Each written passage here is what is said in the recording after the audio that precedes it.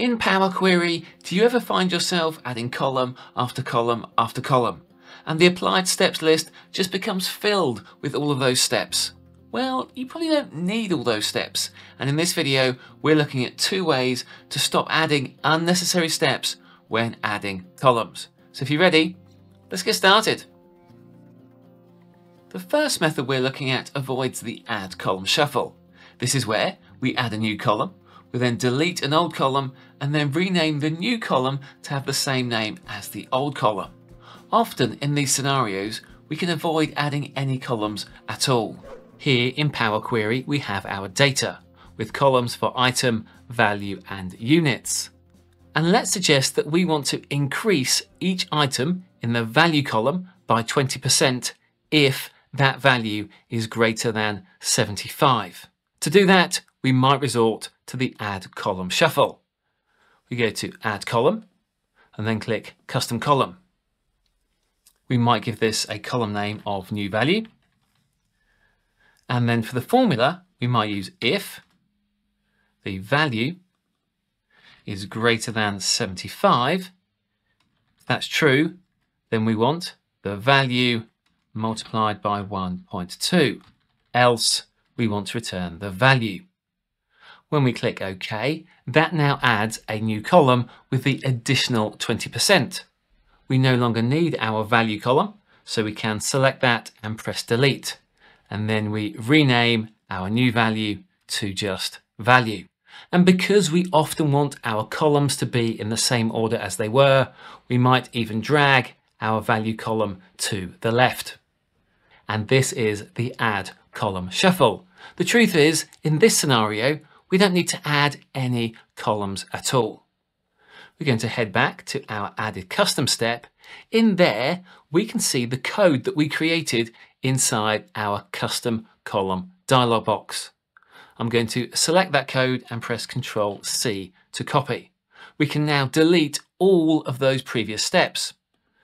In the Applied Steps window, I'll click on the cross next to each item. Instead of adding a column, what we actually want to do is to transform a column. But when we come to the transform ribbon, there isn't an option that gives us what we need.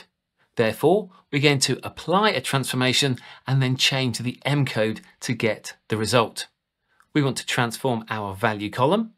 So with that selected, we can then apply a transformation. Because this is a number column, we're going to select a transformation from the number column group.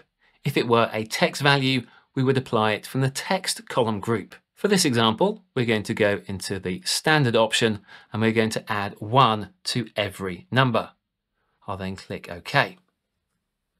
This uses the table.transform columns function. We can see the name of our previous step, which is source. We can see the name of the column, which is value. We can then see that for each value in that column, we are adding one. The underscore represents each individual row. So rather than underscore plus one, we are going to paste our previously copied code. Now this references the value column, but in our code, we can see that we are already applying this to the value column. Therefore, we don't need to use value. Instead, we can replace that with the underscore. That's the first instance. We then have the second instance and finally the third instance. When we commit that formula, we now get exactly the same result as before, but we didn't have to perform the add column shuffle. So that method avoids adding any columns. Instead, we use our knowledge of Power Query to transform the existing column. The second method we're looking at is where we want to add multiple columns at the same time. And we can actually add as many columns as we like with just two steps.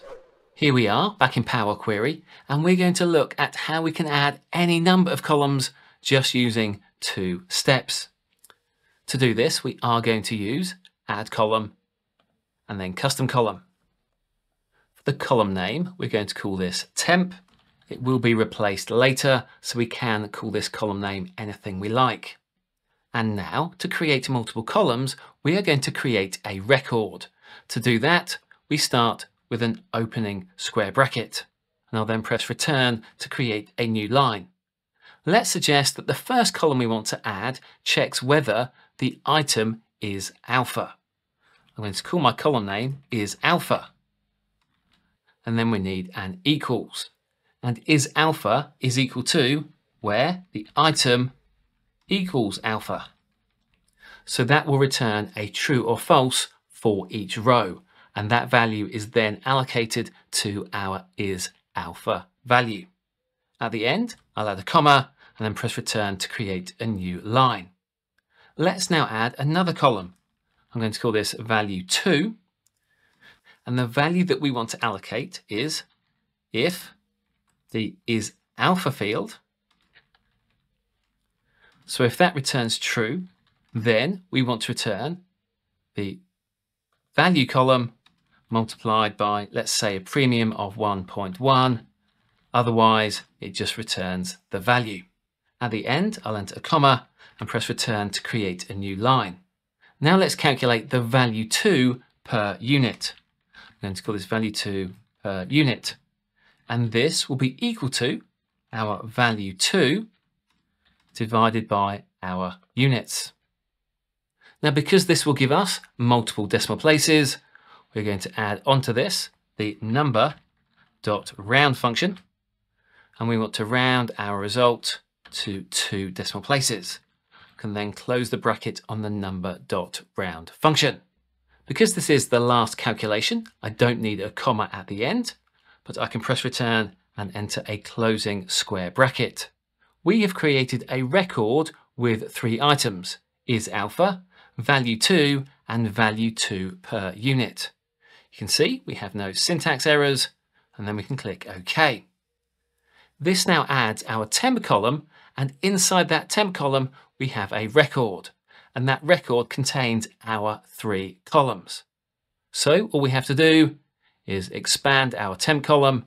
We get to select which columns we want to include. I am going to uncheck use original column name as prefix and then click OK. And now from those two steps, we have three columns, but we could have added five, 10 or 50 columns and it would always be two steps. Therefore, this doesn't fill up our applied steps list. And that's it. That's how we can avoid adding unnecessary steps into Power Query when we add columns. If you like this video, then make sure you subscribe and get notifications so you don't miss any of our future videos. Thanks for watching, and I'll catch you next time.